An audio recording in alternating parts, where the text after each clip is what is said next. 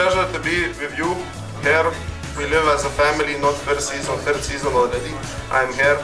I feel really big connection with, with every one of you. So so really big pleasure to be here.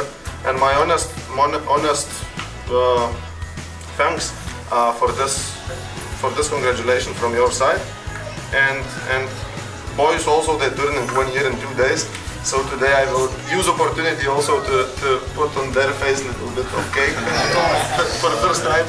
So so thank you so much. Big pleasure to be with you.